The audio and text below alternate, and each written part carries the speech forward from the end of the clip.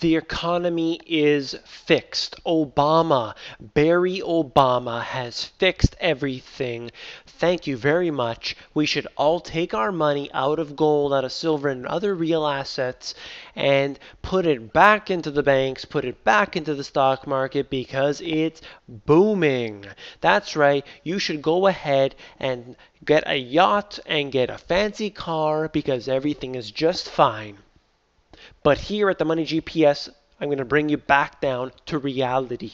Marc Faber saying that we are in a gigantic financial asset bubble that can burst any day. What have I been saying now for so long? He's talking about all this growth is not sustainable. It has been going on, and of course, it is unjustified. Let me go as quick as I can through this one of the most important things, and you can read the whole article, it's, it's amazing.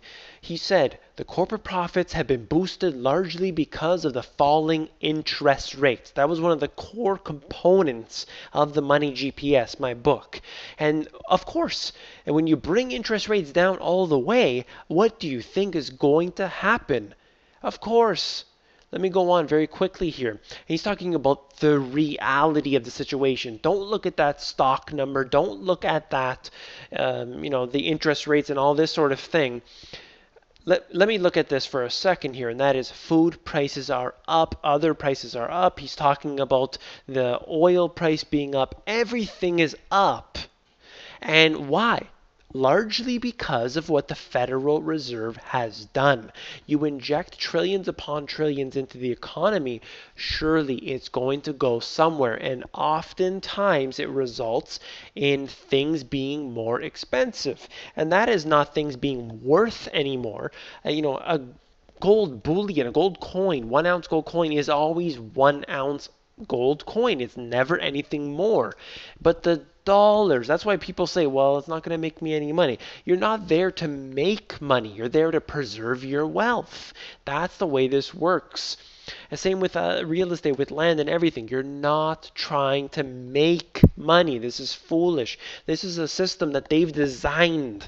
How can you beat this system? You need to preserve your wealth. That's what he's talking about. That's a lot of what Marc Faber does. Now, of course, he's a, you know, he does gets a lot into the stocks and stuff, but he is deep in this market. For the average person, you need to be there to preserve your wealth. Do not get caught up in all the tricks and games that they play.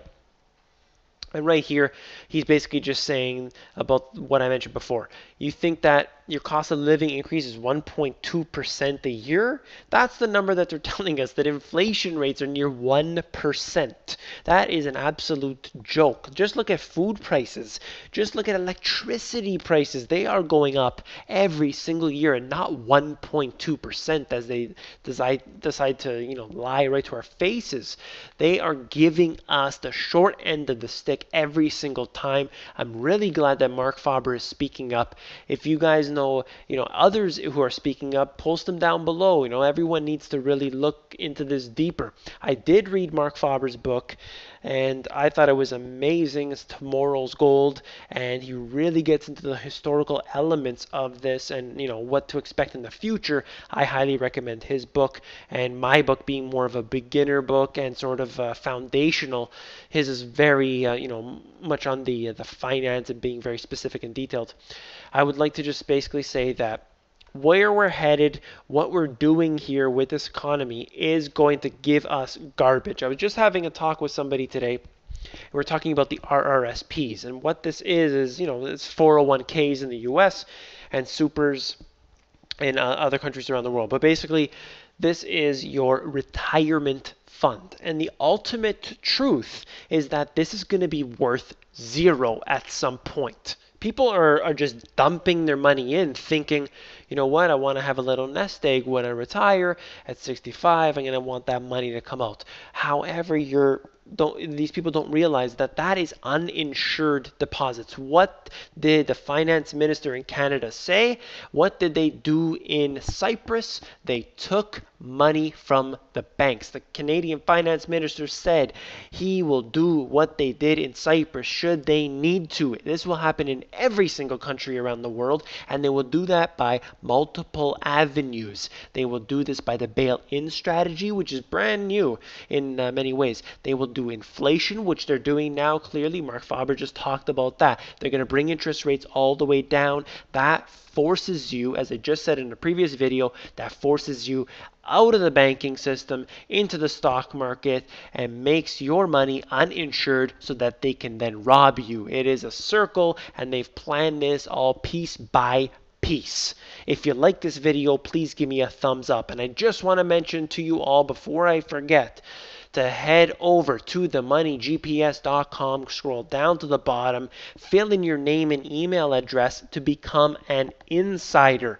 This is the uh, basically the insider where I have videos that are unlisted on YouTube, and I will be emailing them out to the insiders, and they can have information that I do not release out in the normal um, in the normal YouTube channel here. I want to create a, a smaller group of individuals who you know, are, are a more a closer, a bonded, connected group of individuals, and I will share additional information through there. So you go to themoneygps.com, scroll down to the bottom, fill in your name and email, and then I'm going to be sending out unlisted videos, and you can watch them on your YouTube. This is not some sort of spam. I will not be a part of that sort of thing. I hate, in fact, I hate spam in my inbox, and I feel your uh, pain on that as well. So that will not be the case here, I assure you.